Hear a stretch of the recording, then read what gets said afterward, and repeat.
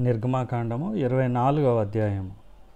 మరియు ఆయన మోషేతో ఇట్లా నేను నీవును అహరోనును నాదాబును అబీహును ఇస్రాయేలీల పెద్దల్లో డెబ్బది మందియు ఏహోవ యొద్దకు ఎక్కి వచ్చి దూరమున సాగిలపడుడి.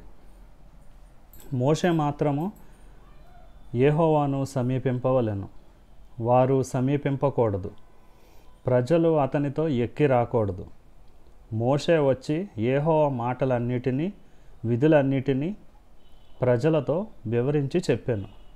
ప్రజలందరూ ఏహోవ చెప్పిన మాటలన్నిటి ప్రకారము చేసేదమని ఏకశబ్దముతో ఉత్తరం ఇచ్చిరి మరియు మోషే ఏహోవ మాటలన్నిటినీ వ్రాసి ఉదయమందు లేచి ఆ కొండ దిగువను బలిపేటమును ఇస్రాయేలు పన్నెండు గోత్రముల చొప్పున పన్నెండు స్తంభములను కట్టి ఇస్రాయేలీల్లో యవనస్తులను పంపగా వారు దహన బలులను అర్పించి ఏహోవాకు సమాధాన బలులుగా కోడెలను వధించిరి.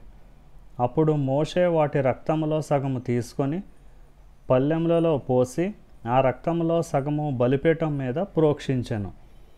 అతడు నిబంధన గ్రంథమును తీసుకొని ప్రజలకు వినిపింపగా వారు ఏహోవా చెప్పినవన్నీ చేయుచు విధేయులమై యుందుమనిరి.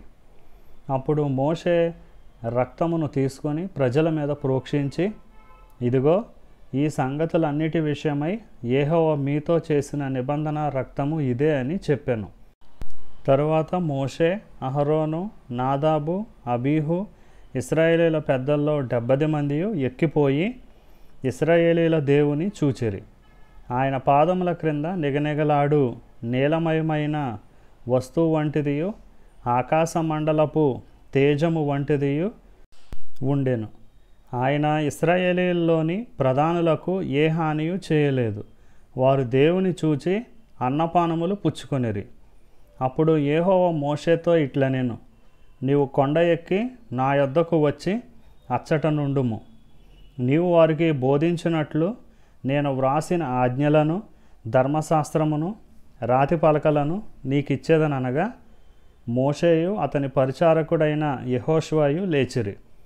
మోషే దేవుని కొండ మీదికి ఎక్కాను. అతడు పెద్దలను చూచి మేము మీ వద్దకు వచ్చే వరకు ఇక్కడనే ఉండుడి ఇదిగో అహరోనును హూరును మీతో ఉన్నారు. ఎవనికైనాను వ్యాజ్యం ఉన్న ఎడల వారి వద్దకు వెళ్ళవచ్చునని వారితో చెప్పాను. మోసే కొండ మీదకి ఎక్కినప్పుడు ఆ మేఘము కొండను కమ్మెను. ఏహోవ మహిమ సీనాయి కొండ మీద నిలిచెను. మేఘము ఆరు దినములు దాన్ని కమ్ముకొనెను. ఏడవ దినమున ఆయన ఆ మేఘములో నుండి మోషేను పిలిచినప్పుడు ఏహోవ మహిమ ఆ కొండ శిఖరం మీద దహించు అగ్నివలే ఇస్రాయేలీల కన్నులకు కనబడెను. అప్పుడు మోషే ఆ మేఘములో ప్రవేశించి కొండ మీదికి ఎక్కాను. మోషే ఆ కొండ మీద రేయింబవళ్ళు నలువది దినములుండెను.